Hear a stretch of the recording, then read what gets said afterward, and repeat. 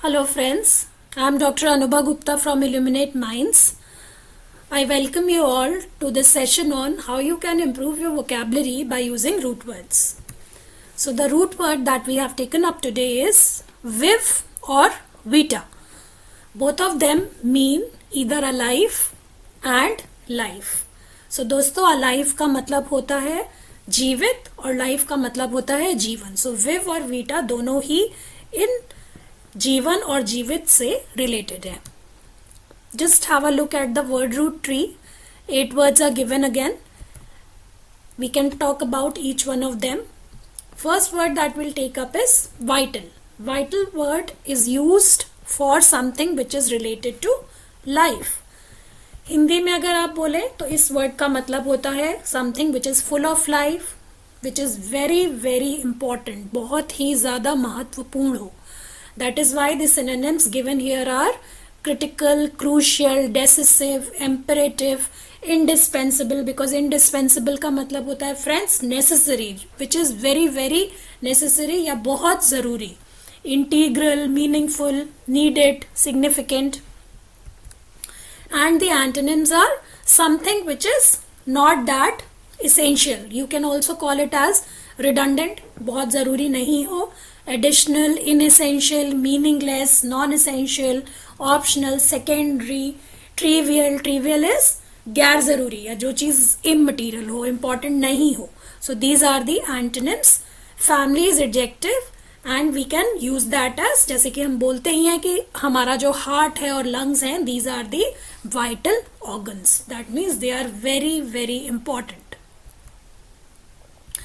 second word that we can take up is vitality. Vitality, word, the meaning given is state and quality of being alive.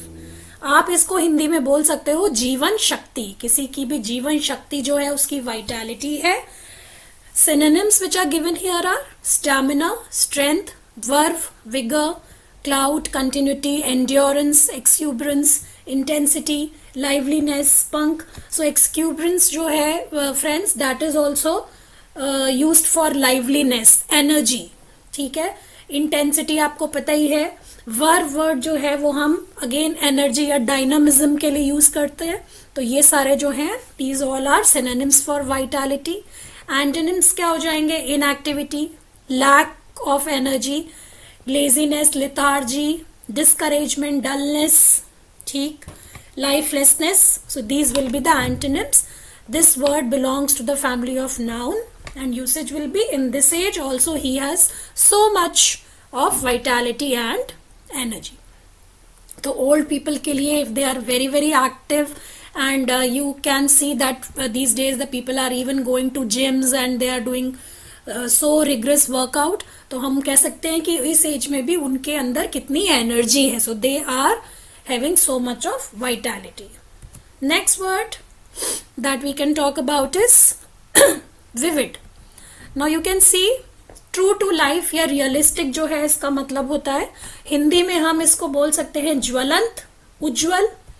Synonyms will be animated, something which is very, very bright, colorful, brilliant, expressive, lively, lucid. Lucid, you know, clear होता है जिसका मतलब होता है जो कि बोलने में भी अच्छा हो या बहुत ही एलोक्वेंट हो इसीलिए हमने यहाँ पर इसको यूज़ किया है। एंटोनिम्स क्या हो जाएँगे? Bland bland word is use for उबला हुआ खाना। तो उबले हुए खाने के लिए हम वर्ड क्या यूज़ करते हैं? ब्लैंड जो, जो कि टेस्टलेस होता है तो यहाँ पर एंटोनिम हो जाएगा bland boring comedic dark gloomy insignificant lifeless ठीक है?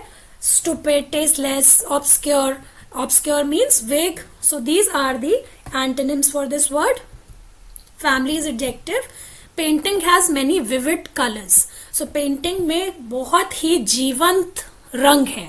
तो जैसे बोलते हैं ना कि इतनी अच्छी लग रही है पेंटिंग इतने सारे उसमें जीवंत रंग हैं कि देखकर ऐसा लग ही नहीं रहा कि ये पेंटिंग है। It it is looking like something which is real so that is how we can use this word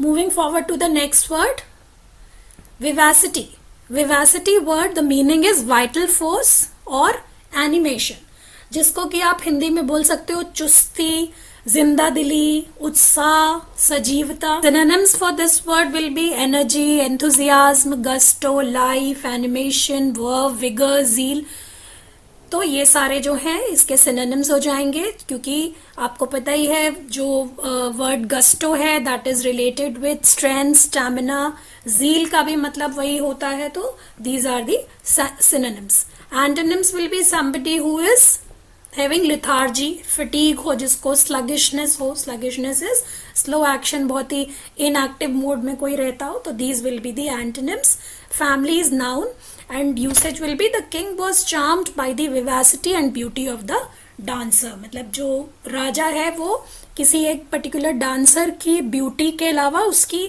जो विवासिटी थी, उसके अंदर जो जील थी, जो पैशन था अपने डांस के लिए, उसको देख के बहुत ही प्रभावित हुआ। Next word is vivacious vivacious word means full of life synonyms will be active alert animate breezy bubbling cheerful ebullient ebullient word का मतलब भी फ्रेंड्स हैप्पी या चेयरफुल होता है, या एक्ज्यूबरेंट इसका भी मतलब चेयरफुल लाइवली होता है same is the meaning of the word effervescent so Hindi में अगर आप बात करें तो विवाशियस वर्ड को हम कह सकते हैं, बहुत ही कोई जो फुर्तीला हो, जो कि बहुत ही प्रफुल्ल रहता हो, उसको हम विवाशियस बोल सकते हैं। तो antonyms will be boring somebody who is boring, who is dull, who is still unattractive unhappy dispirited dispirited का मतलब क्या? उसके अंदर कुछ जील नहीं है, कुछ करने की इच्छा शक्ति नहीं है। So that can be use as antonym family is adjective usage will be, if you are an original and vivacious host, your guests will have a jolly time.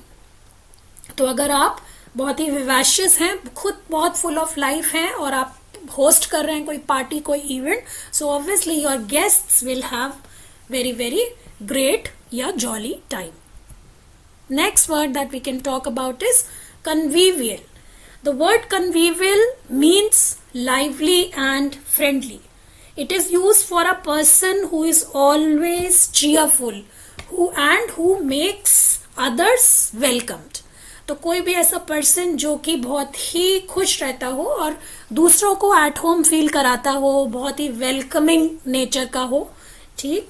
तो इसका हिंदी में हम क्या बोल सकते हैं? मतलब खुशनुमा हो, मस्ती में रहने वाला हो, बहुत ही मिलनसार स्वभाव का हो, उस पर्सन को हम क्या बोल सकते हैं? Convivial cheerful clubby festive hearty jolly jovial lively pleasant sociable companionable friendly happy hilarious these are the mirthful these are the synonyms and antonyms क्या हो जाएँगे again somebody who is depressed who is apathetic who is gloomy, lethargic, unfriendly, unhappy, serious, solemn. So these will be the antonyms. Adjective है ये और usage क्या हो जाएगा My boss is a convivial party host. He makes everybody feel at home. So this is kind of similar example that we had just seen तो यहाँ पर भी क्या है कि मेरा जो बॉस है, वो बहुत ही खुशनुमा, बहुत ही अच्छा कन्वीवियल होस्ट है। तो उसके घर जाके हमें घर जैसा ही फील होता है। Next word is revive this is a very very common word friends you can see the again the meaning given here is bringing back to life तो ब्रिंगिंग बैक टू लाइफ या revive करने का मतलब क्या होता है? पुनर्जीवित करना किसी चीज़ को दोबारा से जीवन देना सजीव हो जाना भी आप बोल सकते हो। सो so, इसके जो सिनेम्स हैं वो क्या हो जाएँगे? Arouse encourage energize invigorate invigorate means rejuvenate करना किसी को दोबारा से ज़िंदा करना एनलाइवन करना। रेनोवेट करना repair restore resurrect strengthen awaken brighten ये सारे इसके सिनेम्स हो जाएँगे। Antonyms will be break damage उल्टा, क्योंकि आप किसी को जीवन दान दे रहे हो तो दूसरी तरफ़ आप उसको डिप्रेस कर रहे हो, या उसको डैमेज कर रहे हो। ठीक है? तो ये सारे जो हैं इसके एंटोनिम्स हो जाएँगे। Families work usages we should try to revive our old customs तो हमें अपने पुराने तौर तरीकों को, अपने कस्टम्स को रिवाइव करने की कोशिश करनी चाहिए। And the last word for today is the word survive again बहुत ही कॉमन वर्ड है।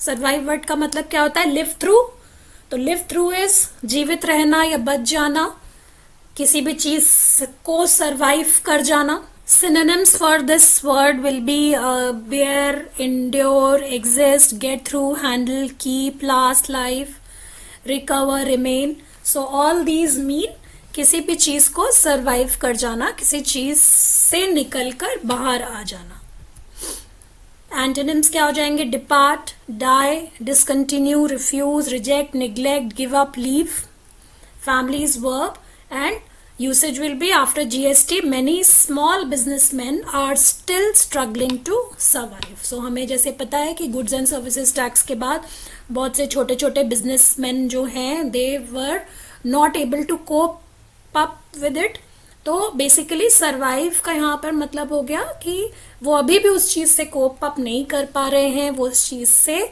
बाहर निकल कर सक्सेसफुली नहीं आ पा रहे हैं। तो they are not able to survive that change so friends with this we will be ending up for today session and again I would say stay tuned and please subscribe to our channel on YouTube and download our applet from Play Store. You will get to know much more about us through our lectures and videos. So till then, bye-bye. Thank you so much.